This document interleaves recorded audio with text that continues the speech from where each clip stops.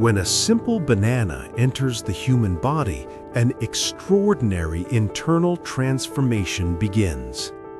The moment the banana reaches the mouth, the body prepares itself for a surge of natural energy.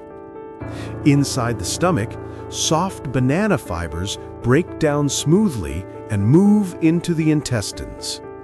In the microscopic world of the gut, nutrients from the banana, glucose, vitamins, and minerals illuminate as they are absorbed into the bloodstream.